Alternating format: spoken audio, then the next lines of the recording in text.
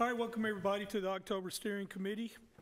Uh, First thing, I want to go ahead and make an announcement of Buchanan, uh, former Commissioner Veronica Buchanan's mother passed away this weekend, so let's keep her in our prayers. And let's move on to the agenda. First thing is approved minutes. I call on Vice Chair Pettus Read. Mr. Chairman, I have uh, read the minutes. I haven't found anything. If anyone has any questions, I do have a hard copy of that here, a printed out copy. So, Mr. Chairman, I wish to move that they be approved. All right, got a mo- motion, I got a second? Got a second, all those in favor say aye. Opposed? Let's move on. Next, is there any public comments? There's no public comments, so let's go to confirm the revised 2024 holiday calendar.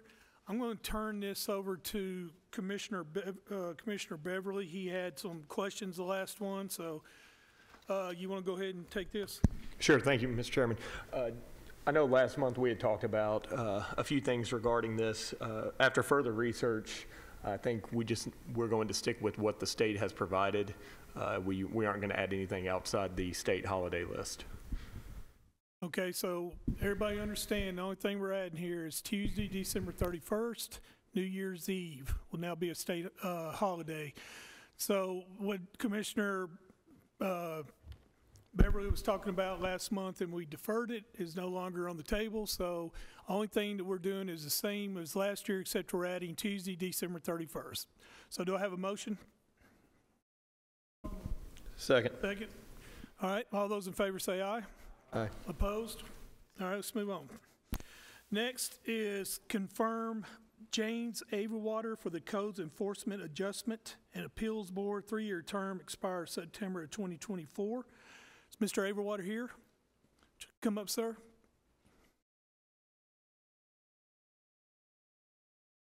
I'm sure everybody knows you, but just go ahead and tell everybody who you are and go from there.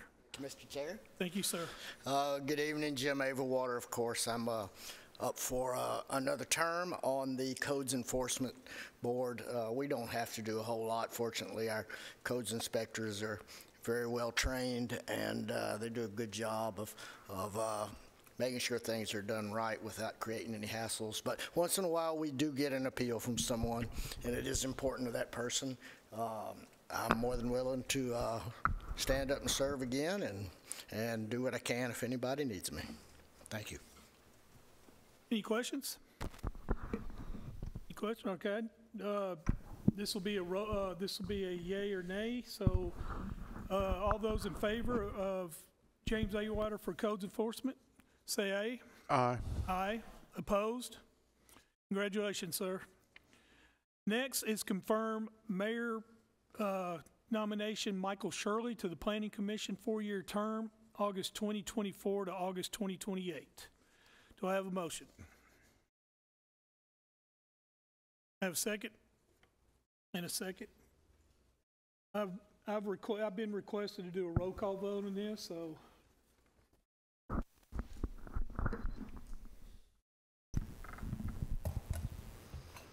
Commissioner Kush, Aye. Commissioner Beverly, Yes. Commissioner McAdoo, Commissioner Rather, No. Commissioner Johnson, No. Commissioner Read, Yes? Chairman Harris. Yes. All right, let's move on. Next is confirm Chanta, I hope I'm saying that right, Graves for judicial commissioner. Is Ms. Graves here? Come on up, Ms. Graves. Just uh, introduce yourself, tell us a little bit about you so we know who we're voting on. Thank you for coming. Hi, I'm Chanta Graves. I work at the Rutherford County Judicial Office. Uh, I've been there for 13 years, and my background, um, I graduated from TSU in criminal justice and Oakland Community College in Michigan and paralegal, and I'm just up for reappointment. We have any questions? All right, I need a motion to confirm. Motion to confirm and thank you for all you Have do. Sorry about that, Mike. Didn't mean to interrupt you. Do I have a second? Second? All those in favor say aye. Aye. Opposed? Thank you, ma'am. Great, thank you. Congratulations. All right, next is confirm Gary Farley, reappointment for the Board of Zoning Appeals. Uh, Vacancy, five-year term, expires October 2024 to 2029. Uh, Mr. um, Farley had chest pains and is in the hospital, so he's unable to be here. So um, he wanted to- to uh, come up and talk, but I told him uh, we'll take care of that. So do I have a motion to confirm? So moved. Second? Second. All right. All those in favor say aye. Aye. Opposed? All right. Next, I need to announce Stormwater Advisory Board vacancy. I need to announce two Beer Board vacancies, three-year term, expires October of 2024 to October of 2027. I need to announce one Juvenile Detention Board of Commissioners vacancy, one-year term, expires in August of 2024 and is till uh, August of 2025. I need to announce three audit committee vacancies, one school board member, one road board member, and one county citizen. I need to announce three public building authority vacancies. These are all mayor appointed. Terms expire January 2026. All right, that's all of our announcements and confirmations. Uh, next is our lobbyist report, and Will, come on up.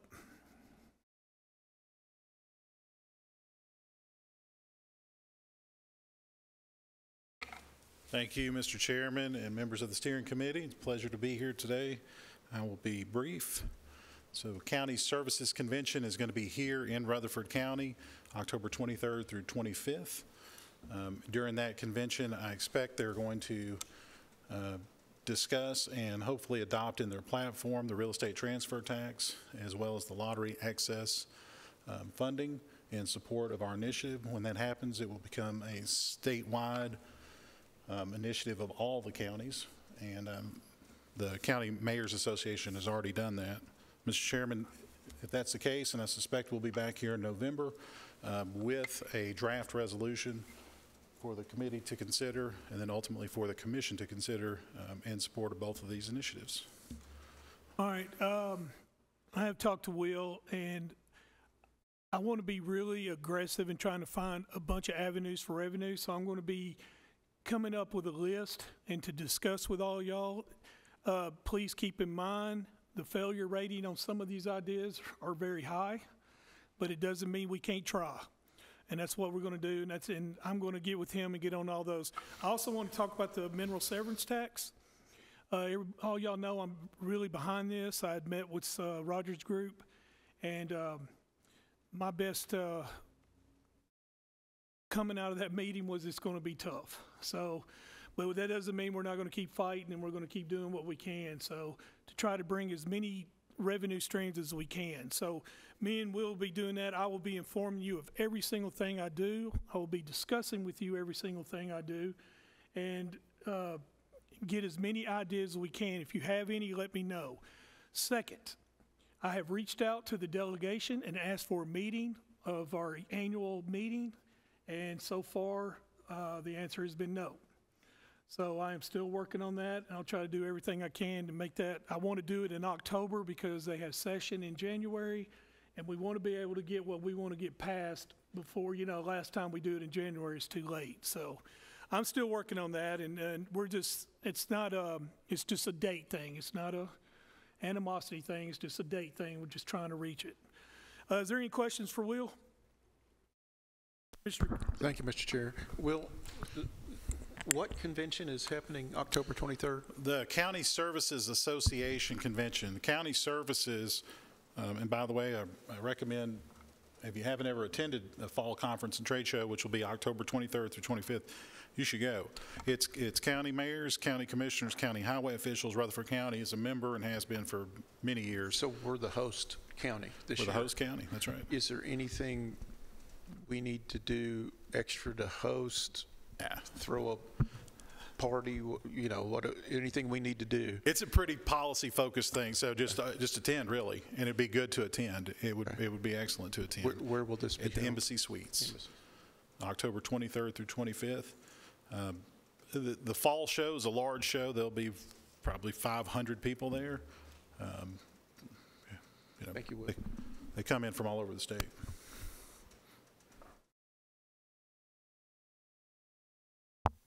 Will we need to sign up, RSVP? Thank you, Mr. Chairman. Yes, sir. So there's a registration process. County Technical Assistance Service, UT, they handle the registration. I- You can register on-site or go on the website. Uh, I think it's tennesseecounties.org is the website. Yeah, you can, you can register online.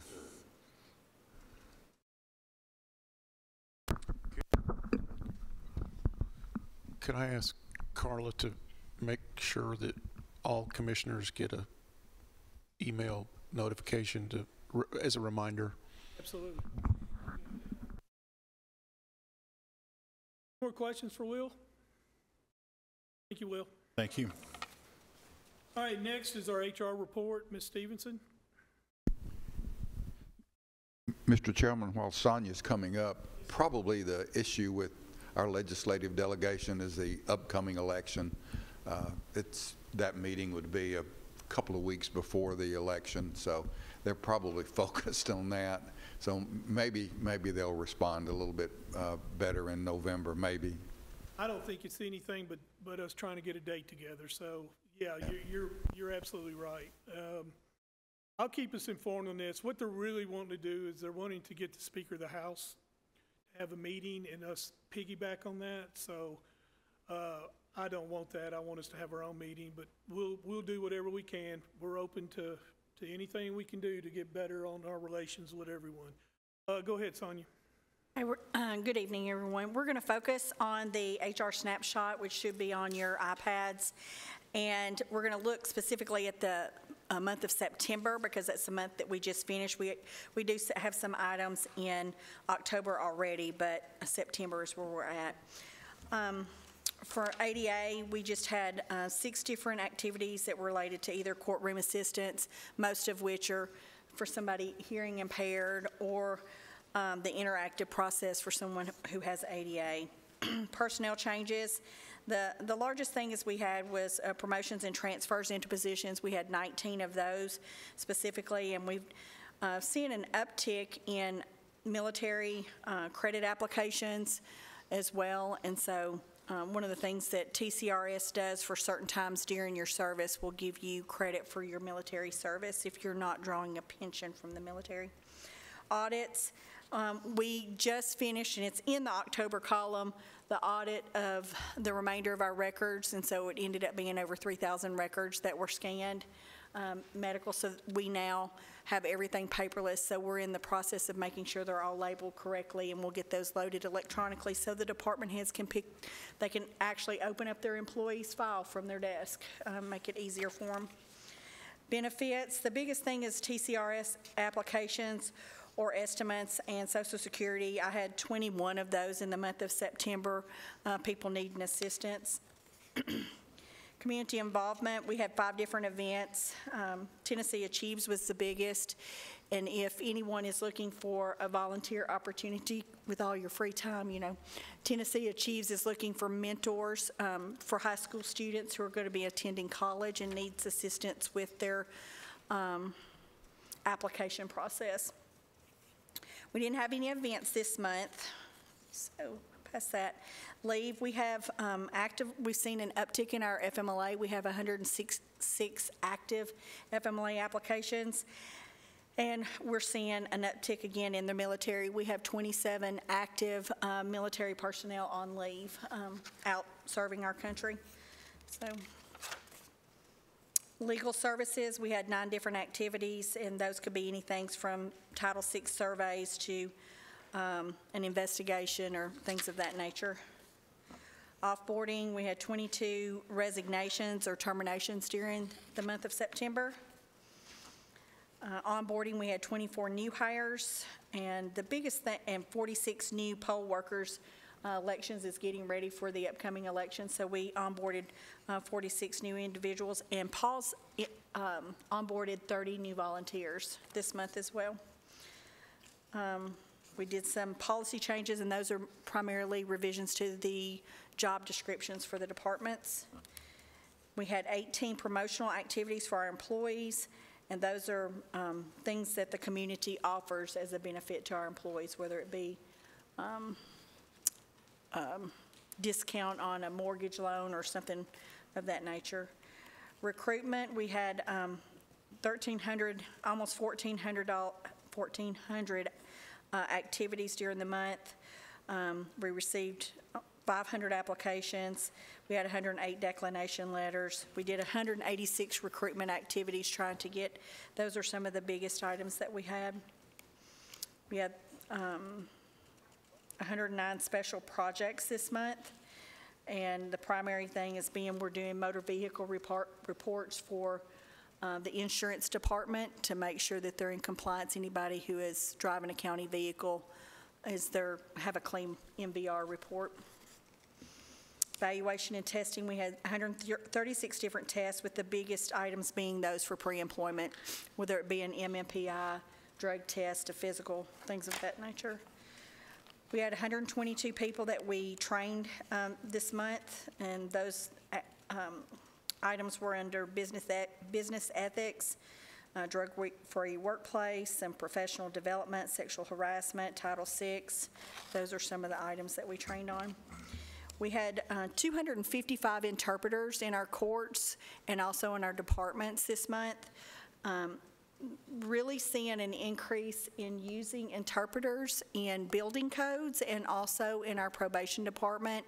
The courts also see a fair amount, but we are seeing an increase in our building codes department. So we had uh, 255 uh, activities with the primary language being Spanish and the next language being Arabic. And that concludes the snapshot. Are there any questions about the snapshot before we move forward? Okay. The next item is just the jobs that we posted in the month of September. And so this tells you by department and what position was posted and how many applications that we received for those posting as of September 30th, just to let you know what we have open out there for the public to apply for. Um, The any questions related to our postings. And then the last item was on your table, because I was actively still working on this before I came. This is the vacancies that we have and, and what vacancies are in each department, so it tells you um, what we're actively recruiting for. And that concludes my report. Oh, I failed to mention, um, um, Commissioner Phillips asked, reminded me to announce that the Health Department was giving flu shots and COVID shots for anybody that is needing their vaccines, can go to the Health Department for those shots as well. Questions? I- I have one. Um, On our handbook, when is uh going to be updated? Is it already updated? Yeah, we just finished it May 19th of this year. May 19th? I think it's May 19th or 17th. We literally just approved, I mean, we, we update it, we can update it. It's a living document, so we update it as needed. If- Is there a particular policy that you? No, I knew we had some things we wanted to get in there. I just hadn't followed up on it. So, Okay, yeah. well, just let me know. And what is this you gave us about holiday leave and CTAS and all Well, that? last, last month, you asked me to bring information about whether or not we could add um, the day before Thanksgiving, so I just printed off the, the law, our policy in the handbook, and then uh, the law as it relates to TCA, just so you would have that today. Okay. Is there any questions? Mr. Chair. Get him first, then you. Go ahead. Could you briefly touch on this uh, email that went out regarding Cigna Insurance with risk management that kind of caused a little uh, concern with retirees and county employees? Could you touch on that, please? So I can a little bit. I don't want to really get out of my lane too much, so uh, I would, I would follow up with Ed and his team to make sure. But Cigna has been in negotiations with Murfreesboro Medical Center for some time, and um, the negotiations are still in place, and they have to have an agreement by December 31st, I want to say, is the date that they have to, that's the, that's when if they don't have an agreement, we will, the employees will no longer be able to use Murfreesboro Medical Center. But I know that they're still uh, announcing that they're in active negotiations. Now, as my understanding, anybody who is a current retiree on the, um, the, the Medicare, the county's Medicare Advantage will not be affected in either way because Cigna no longer has that plan. We still have the plan, but it's not under Cigna, so it will not affect individuals, is my understanding, who are on that plan. Well, they did send out another uh, email that, oh, we made a mistake. So, you know, I just wanted you to make, Yes, the- Uh, Commissioner Johnson, uh, Ed Elam will be at budget. Ed Elam will be at budget Thursday night, and uh, I'll, give him and, uh, send him an email letting him know that you, uh, are concerned about that would like an explanation. Is that okay? Okay. Just an update on that, if I could, Mr. Chairman. Cigna is not the only carrier that's having trouble with uh, Middle Tennessee Medical Center. Other major carriers are as well. So it's, it's not Cigna alone. There are others that are under negotiations as well. And we were told, the insurance committee was told, told Chairman McAdoo that um, um, it's not uncommon for them to go late into the negotiation process before they reached some type of settlement. It's alarming, uh, especially to employees, um, but it's something that uh, Cigna is doing to benefit customers, which, which are us. To negotiate our rates. I will say that Murfreesboro Medical Center employees actually have Cigna insurance, so they have that for their own employees, so they're probably just negotiating those rates, like you said, Commissioner Phillips. well, let me clarify something. The reason I asked uh, Tanya is, in the email, it said to connect, contact you or risk management. Yeah, and it did say contact HR. I asked, I asked Ed to retract that. Mr. Chair. Beverly? Uh, I know I brought this up at our last meeting, and Sonia provided some insight. Uh, Just a quick comparison, we, I just looked at the starting salary for some of our certified law enforcement at year one. Uh, We would be at around 53,000. Uh, Mur- Murfreesboro Police Department's at almost 63,000 starting off, Franklin's at 60. If you fast forward to five years, which is kind of where we struggle as a county, if we can retain them that long, we see a higher success rate. Um, A deputy can expect to probably make around 57,000, but compared to Murfreesboro, that's at 70,000, and compared to Franklin, that's at uh, 65, so we're entering into a larger deficit. Uh, But one thing I found that was kind of odd was a step five SRO on Rutherford County's pay scale would make $56,688 a year. If that same deputy decided to leave Rutherford County Sheriff's Office and go to the Murfreesboro Police Department, their SRO salary would be near $77,000. So when we compare our benefits package and everything, I understand certain aspects are lucrative, but you're also talking about a 20-year or $20,000 a year difference, and that compounded over the life of their career is a lot of money that they're looking at. And I know for sure, certain we've lost a deputy that was a supervisor and a longtime deputy in, for our agency here that went to a neighboring county and he took a lot of training and experience with him. And we hated to see him go, but he has to do what's best for him. But this is something I want us to think about because these numbers are what's hitting the families hard, especially when they're looking at one of the biggest medical providers in our community may not be in network from now after this year. So just something I want you guys to think about, especially the ones on budget, as we look at some of the decisions over the next couple months and get started on budget for next year.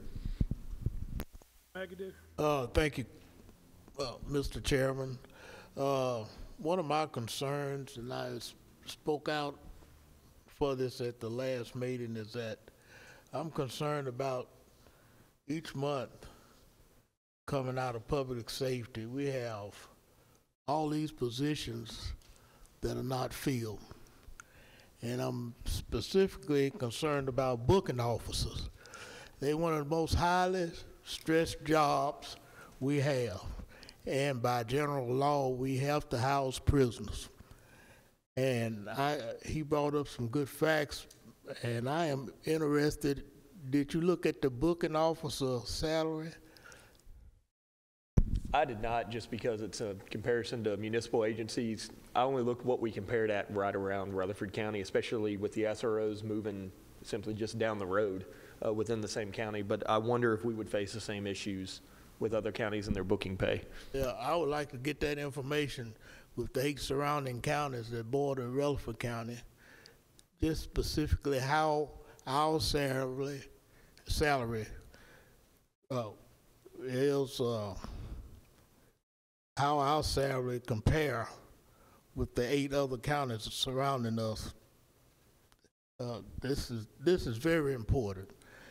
This is very important. I think we have reached the serious stage with booking officers.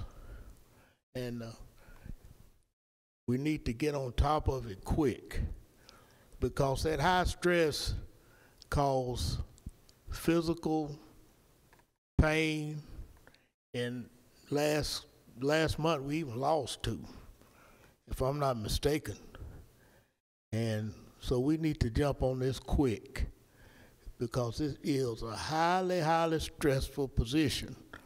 Booking officer, he's locked, he or she is locked up in that jail from 12 to 16 hours nowadays because of the shortage. And they don't even get to come out and go to lunch and things like that. And, and that's not good.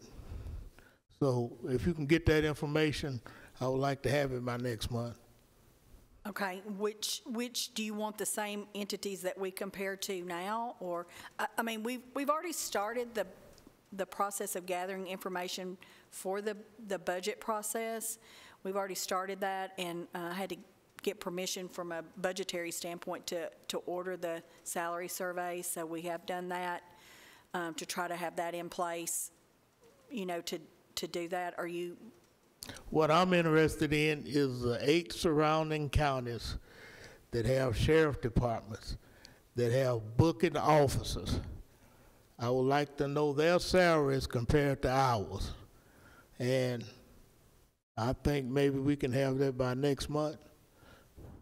Okay. Okay, and I, I do want to make one clarification, because we call them a little bit something different. So the booking officers are the ones who, when somebody comes in, we actually book them, that's intake. But then we have detention officers that are in, in the pods with the, or I think they call them pods, I know the others do. Depen- yeah, Uh, In the pods with the inmates. Are you talking, which one are you talking about, the booking? I was talking, first priority is booking, but it, it wouldn't hurt to go ahead and get detention. Since each month I'm looking at this report and we always have about ten to twelve dis- detention officer vacancies and booking about the same, and it's been going on for a, a good period of time. So eh, while you're getting booking officers, you may want to look at detention also.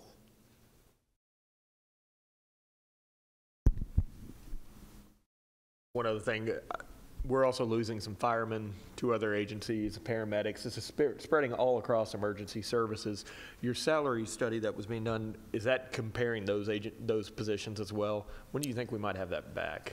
Well, we won't have it until in time for the budget process, when we start having the meetings with the departments. So Okay. it takes a minute to gather all that information from the agencies surrounding us. And also, we, we gather from Smyrna, Murfreesboro, La Vergne as well, and uh, Metro Nashville is one of the bigger ones that we look at. So it, it will take them some time to get that back to us. Gotcha. And you And, and I will tell you, we, we don't have, uh, contrary to popular belief, we do not have a problem staffing firefighters. Okay.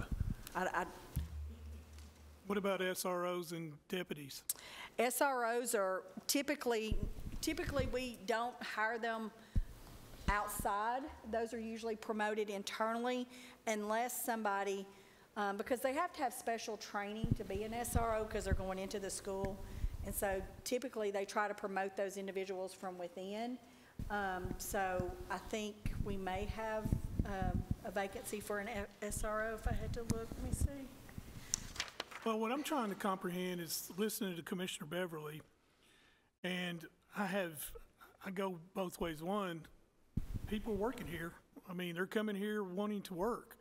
And so I guess my second question is, what is the recit, what is it, the retention rate that we have? So like a, you hire somebody first year, do we lose, uh, lose them the first year, second year, third year, or? So it, so it varies. Um, I usually tell people, and this is where Mr. Commissioner McAdoo got this, is that if we keep somebody, or maybe uh, Mr. Commissioner Beverly said it, um, five to seven years, we're pretty much going to retain them. So the hard part is, is when um, there's not like this pool of trained people out there. So when we bring hire people, we're having to hire people that don't most cases don't have the skill sets to do it and then train them to do it in-house. And so, I mean, it's, it's, anything public safety is going to be a little more sensitive to their job duties. And so what happens is either they can't cut the muster because you've got to have legally, you've got, they've got to be able to do certain things, whether it's a firefighter, a paramedic, police officer, any of those public safety jobs, pause. And so if they can't do the duties of the job, then we have to release them. So there's some that we're releasing because they can't complete the duties, and then there's others that are being released that says, I don't want to complete the duties. And so we do le- lose a percentage, and I don't know the exact, I can, you know, off the top of my head, but um, most of the people, if they stay five to seven years, that's where we're, we're seeing them to stay. So it's, it's just those entry-level people that we're primarily losing. We've lost three people that I can think of that had over 15 years of experience that went on to other agencies that, like, one of them went to the marshal's office. I mean, that's, that's a different animal. I mean, you know, so that's somebody's, that's on their bucket list, I would say, you know, wanting to go to the marshal's office uh, to do those jobs. I, I don't, I, don't r- recall the person that you're talking about that left that went to a sister, like, agency, a county agencies. The ones that I can think of left to go somewhere like that. Um, and, and the biggest thing is, you know, we talk about compensation, we do this every year, and, and the commission, you know, um, has been, between the, the commission and the mayor's offices, over the last five, six years, have worked together to increase the pay. It was just when you get so far behind, and then the cost of living, um, what we're dealing with is the cost of living, it just makes it hard to catch up for us. And our salary survey, here's the other problem. The salary survey comes in, and, and it's, and it's measuring based on the most recent act they had. So let's say um, we've got a couple of entities that we compare to, they'll get pay increases in December. So we'll have those pay increases, but we won't have what they're going to do in June. You know, we can only anticipate what they'll do in June. And so um, it's just, you know, you don't know. You don't know what they're going to do. So y'all can't decide. Y'all are having to decide, do I, do I go? It's not just as easy as just raising booking officers. Not that easy as far as budget goes. Right. So, but I mean, I agree with Commissioner, uh, Chairman McAdoo. I'm getting concerned about that as well. And I think it's something we need, I don't know, I'm gonna be honest with y'all, I don't know the answer. Why I surround myself with people smarter than me, because I don't, I don't necessarily know the answer here, but this is something that, this information needs to get back to us before next meeting, if you can do it, Sonia. Oh, before the next meeting? Yes. Okay. Next, No, when do you, when do you want it before the next meeting? no, I want it at the meeting. At the next meeting, okay, Next meeting. okay. Is that all right with you, Chairman McAdoo? Next meeting? Okay. All right, thank you. Is there any other questions for Sonia? Mr. Chair, could you do the same thing for certified patrol deputies that you did for booking clerks? or Or not booking clerks, for uh, uh, booking officers and detention? That you would do that for patrol deputies and SROs? Okay. All right, anybody else? Thank you, Sonia. Thank you. All right, next is our litigation list. Uh, It's on your iPads. Does anybody have any questions? Of course, I do. Uh, Nick, on uh, item number four, can you give me an update on that, please? That item has uh, been recently filed, and um, certain motion practice is occurring uh, in the case. Okay, it's very in infancy, right? Yes. Okay. Um, that's all I have. Anybody got any other questions? All right, is there any other business? We're adjourned.